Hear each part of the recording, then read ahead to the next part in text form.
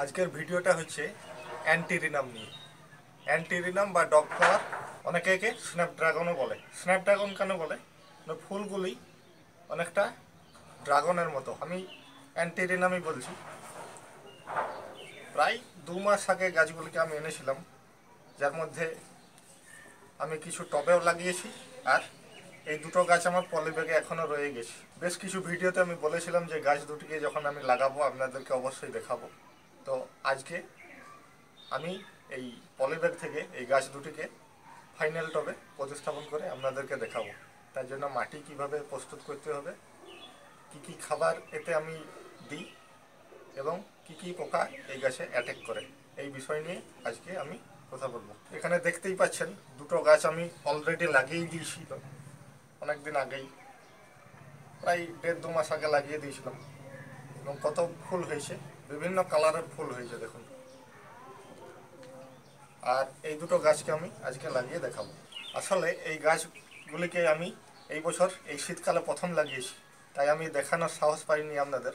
প্রথমে নিজে যদি কোনো গাছ সম্পর্কে আমি না জানি, আপনাদেরকে সেটা কীভাবে দেখাবো? তাই আমি এটা নিয়ে অনেকদিন ওয়েট করেছিলাম। আগে দেখছিলাম যে কি রেজাল্ট হয়, কেমনভাবে মাটি করলে কেমন তার রেজাল্ট হয়। সব বিষয়গুলি আগে আমি পর্যবেক্ষণ করে তারপর আপনাদেরকে দেখাচ্ছি। তো মাটির জন্য আমি যেটা নিয়েছিলাম ওই গাছ দুটোনে, এই যে টবে দুটোকে লাগিয়েছিলাম ফিফটি পার্সেন্ট সাধারণ মাটি, যে কোনো মাটি, দোআঁশ মাটি হলে খুব ভালো হয়।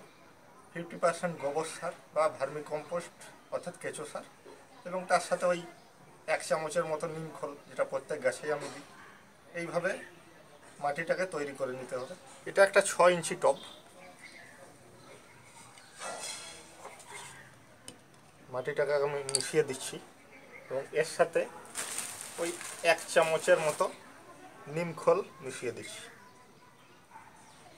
নিমখল কী করে তৈরি করতে হয় ঘরেই বিনা খরচে সেটা আমি দেখাবো। আগেই বলেছিলাম যে আমি দেখাবো, কিন্তু এখন তার সময় আসেনি। সময় এলে অবশ্যই দেখাবো। এই মাটিটাকে ভালো করে মিক্স করে আমি টবে ড্রেনেজ ঝোলকে বন্ধ করার জন্য একটা ঢেউ খেলানো খনন কুচি দিয়ে দিলাম, এইবার মাটিটাকে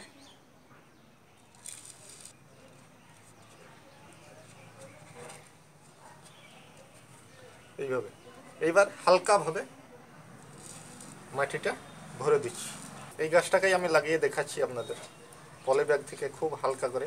আমি যেহেতু পলি ব্যাগে এই গাছগুলিকে ছোট ছোট চারা অবস্থায় এনেছিলাম, এক ইঞ্চি কি দু ইঞ্চি সাইজের হবে।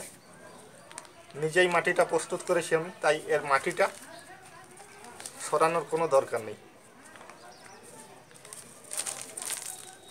যদি গাছটা না বেরোয় পলি ব্যাগ থেকে, এইভাবে আমরা হাতে করে প্রেস করে দেবো হালকাভাবে অটোমেটিক গাছটা বেরিয়ে যাবে।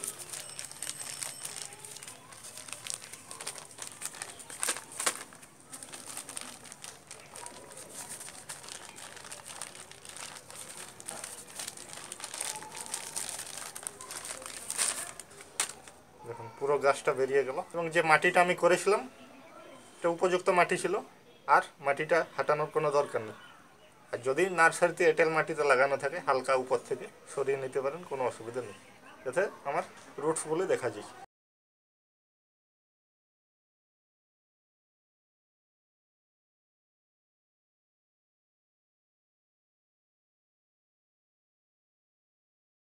খুব হালকাভাবে মাটিটা দিয়ে দিচ্ছি গাছে।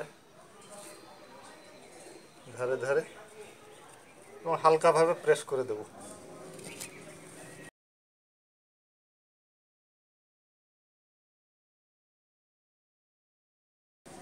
জল দিয়ে দিচ্ছি।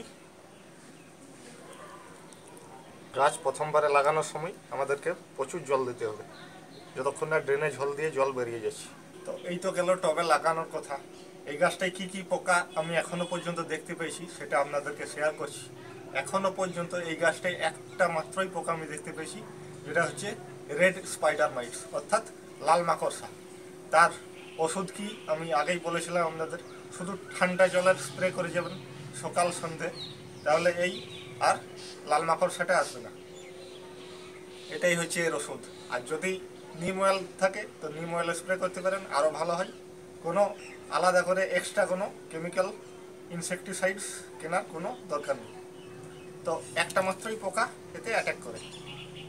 আমার ক্ষেত্রে, আপনাদের ক্ষেত্রে অন্য আরও পোকা অ্যাটাক করতে পারে। এখনও পর্যন্ত আমি যতটুকু দেখেছি, যেহেতু আমি গাছটাকে প্রথমবার লাগালাম, তাই আমি বিশেষ কিছু এর সম্পর্কে বলতে পারব না। শুধু একটা পোকাই আমি দেখেছি, যেটা হচ্ছে রেড স্পাইডার মাইটস আরেকটা কথা বলে রাখি এই গাছটার সম্পর্কে, এই গাছটা একটা ঠান্ডা এলাকার গাছ। ইউরোপের পার্বত্য অঞ্চলে এই গাছটা বেশি দেখা যায়, সেরকম জায়গায় বেশি দেখা যায়। আমাদের এলাকাতেও, আমাদের এই নার্সারিগুলো নেই। বিগত এই কিছু বছর ধরে এই গাছগুলি পাওয়া যাচ্ছে। আগে এগুলিকে লাগানো হতো না, খুব একটা প্রচলন ছিল না, কিন্তু এখন এগুলিকে লাগানো হয়েছে। এই অ্যান্টিডিনাম সম্পর্কে এইটুকুই আমি জানি, যতটুকু জানি আপনাদের সামনে শেয়ার করলাম। তো এই ছিল আমার অ্যান্টিরিনাম বা ডগ ফ্লাওয়ার বা স্ন্যাপড্রাগন সম্পর্কে। সামান্য কিছু একটা ধারণা কীভাবে সেটাকে ফাইনাল টবে প্রতিস্থাপন করতে হবে। যদি ভিডিওটি ভালো লেগে থাকে প্লিজ ভিডিওটাকে লাইক করবেন, একটা শেয়ার করবেন আপনাদের বন্ধু বান্ধব বা আত্মীয় স্বজনের কাছে এবং চ্যানেলটিকে যদি এখনও সাবস্ক্রাইব করবেন প্লিজ আমার চ্যানেলটিকে সাবস্ক্রাইব করবেন। আর যারা আমার চ্যানেলটিকে আগের থেকে সাবস্ক্রাইব করে রেখেছেন, কিন্তু যখনই আমি ভিডিও আপলোড করছি, কিন্তু তার নোটিফিকেশান আপনাদের কাছে পৌঁছাচ্ছে না, তাদের ক্ষেত্রে বলে রাখি আমি, আমার নিচে দেখুন একটা দা নেচার বলে একটা আইকন আছে। সেই আইকনটাতে ক্লিক করলে আজ থেকে আজ পর্যন্ত আমি যতগুলো ভিডিও আপলোড করে গেছি, প্রত্যেকটা ভিডিও আপনারা পেয়ে যাবেন। অথবা আমার প্লে লিস্ট পেজে একটা অল ভিডিও বলে একটা প্লে লিস্ট আছে। সেখানে যদি ক্লিক করবেন, তাহলে আমার প্রত্যেকটা ভিডিও আপনারা পেয়ে যাবেন। আজ পর্যন্ত যতগুলো আমি ভিডিও আপলোড করেছি, প্রত্যেকটা ভিডিও আপনারা পেয়ে যাবেন। এবং আপনাদের প্রয়োজনীয় ভিডিওটা আপনারা দেখে নিতে পারেন সেখান থেকে। তো আজকের মতো এখানেই শেষ করছি। ধন্যবাদ।